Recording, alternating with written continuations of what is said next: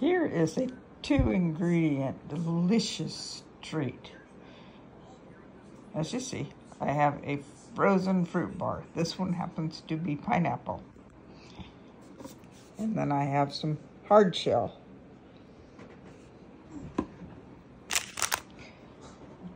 Okay, there's the ice cream. Here's the hard shell. It's not actually ice cream, it's a frozen fruit bar. And mine is pineapple. You can use whatever kind you want. But this kind reminds me of a Dole Whip at Disneyland that has chocolate on it. But Disneyland doesn't put chocolate on it. So I've come up with this idea on my own. Lay it in the stuff that rolled off the side. And you get every bit.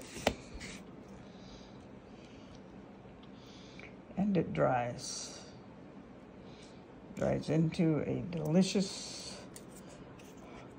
hard shell. So easy to make. And if you want to get creative, you can even write your name on it or